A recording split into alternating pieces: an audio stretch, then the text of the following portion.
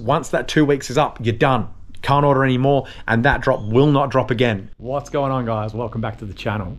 So, today we are going to be talking about a subject that not everyone really talks about on YouTube. So, everyone on YouTube kind of and I understand why, but they sensationalize builds um, and how easy they are and how fast they are and how nothing goes wrong and oh yeah, just tick tick tick tick tick, everything always works, everything always great, and it's not like that. So today we're going to jump in and talk to you guys about the harsh reality of project cars.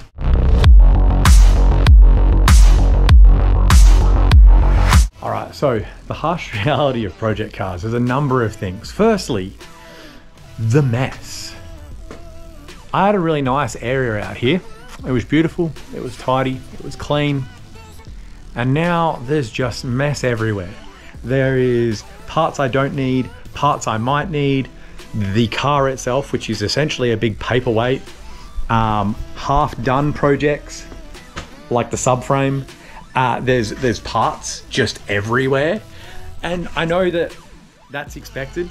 But when you're a small YouTuber like myself, and you don't have a big workshop and a this and a that, um, yeah, there is mess everywhere because you're trying to get everything done. You're trying to be productive. You're trying to, you know, get it to all work and work like YouTube, um, and it just doesn't.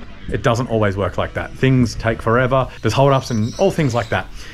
And that's the other thing I need to talk about is the holdups. So obviously, I'm trying to get this build done as quickly as I can. One for me, I want it done. I want to drive this thing. But two for you guys, so you guys can be like, sweet, that's a sick build. Let's get on to the next one, and you can see everything progress nice and quickly, and all that kind of thing. Um, but to be fair, when I'm ordering parts and it takes however long to get parts from Japan, overnight parts from Japan. for example, the seals on the gearbox. We ordered the seals on the gearbox maybe two months ago. Two seals, the front and the rear seal, just the main seals. They got to the Toyota dealership and then they just disappeared. So they had to order them again from Japan, which is like a month, and they should be in this week. But that's something that we wanted to do ages ago, couldn't do, can't do, because we don't have the seals, you don't have the seals. And that's going directly through Toyota. So, you know, ordering parts can take forever. Then things that you think are going to work and aren't going to work because they just don't. You know, in your head, it's like, oh yeah, that's going to work this way, that way, whatever. And it doesn't. For example, this bad boy. So when I ordered the um, the intercooler, it looked as though that the stock auxiliary fan would work, and it doesn't. And that's fine, but it's just another setback. It's more time. It's more money. It's you know it it takes forever. So if you're looking at doing a uh, project car, expect that stuff.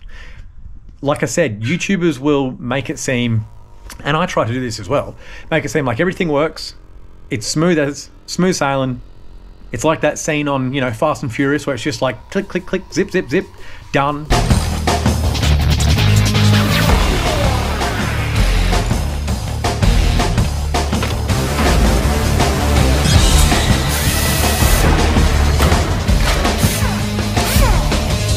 Just you know made your car a 10 second car, but you haven't. It doesn't. it takes forever and it costs a lot.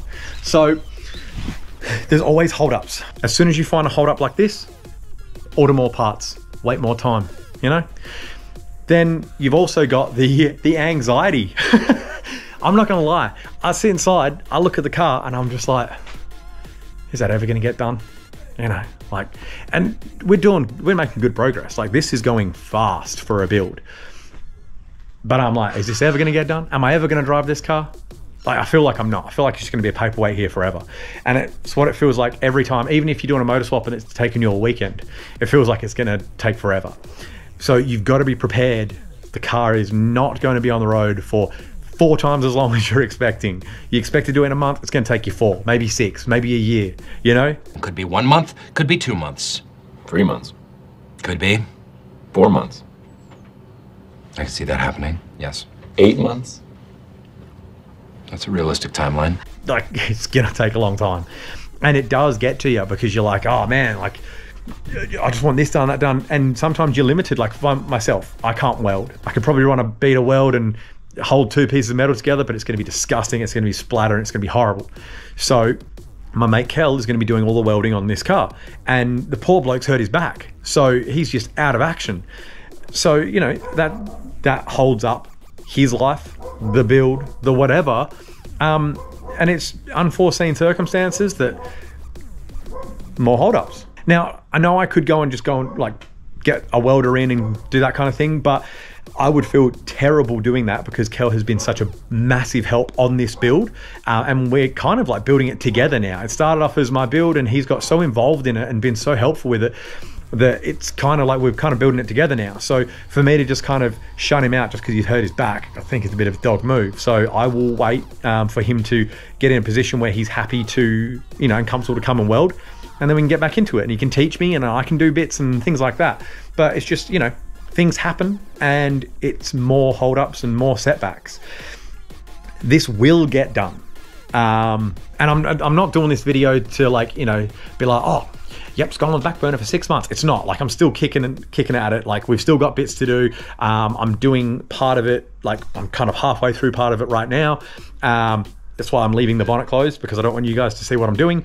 But it's, you know, it's going to keep going but it just does get frustrating. Like I, I, know I've seen some of your comments and you're like, bro, come on, like let's get this build done. And I'm like, bro, I want to. Like I really do. I wish I could TJ hunt it and just throw money at it and get it done, but I can't. Um, the the reality of it is it's got to be done logistically in a you know in a fair amount of time. It's hard on me. It's hard on you guys because I know you guys want to see it done as fast as TJ Hunt or Matt Armstrong do their videos. But we're not there yet, you know? We will get there. The channel will get bigger. Um, but for now, it's it's a slow process. Now, I did want to quickly jump in here, do a little advertising for myself. Um, we are trying to line up a merch drop for you guys. It'll be crew necks, it'll be hoodies, um, with the logo, all that kind of stuff. You'll be able to order it, get it shipped to you. It'll be a website. It'll be, you know, through a certain company that um, one of my mates has actually used. So it's a great company. And I will be putting the links on everything. I'll put it on the channel. I'll put it on my Instagram. I'll put it on my Facebook. Everything that you can see from me, I will put it there. So if you're not subscribed, please subscribe. Uh, if you're not following me on Instagram or the Letter Legion page on Instagram, jump on there and you know click a follow if you are interested in some merch uh, because it's only going to be open for two weeks. It'll be a two week kind of period that that um, ad will drop. The, sorry, the website will drop, and you can only pre-order for the two weeks. Once that two weeks is up, you're done. Can't order anymore, and that drop will not drop again. So it's going to be an exclusive color range, etc., um, etc. Et so once that's done, you're never going to be able to get those colors again. Um, the following drop will be a completely different drop. So keep an eye out for that. That'll be coming soon. And the final thing that I do want to talk about is things blow out because you've got the while you're there jobs, okay? A lot of you know what while you're there jobs are. While you're there jobs are, for example, well, while the motor's out, may as well Raptor liner the trans tunnel. That's a while you're there job. Because if you want to Raptor liner in the future, you're not going to be able to. You got to pull the trans, you got to pull the engine, all that kind of stuff. So while it's out, you paint it. While you're there, the engine's out, let's paint the engine bay. While you're there, you know, that kind of thing. So for example, when I did the 2J build, ah, while I've got it all out and I'm doing a build, let's put a V160 behind it. To be fair, back 14 years ago when I put that in, it was only four grand. It wasn't like 12 now. Um, but there's a lot of while you're there jobs that pop up because you go, well, let's do it now and then we don't have to ever worry about it. I my subframe um, is fine. There's no damage to my subframe. Um, well, sorry, where my subframe bolts to.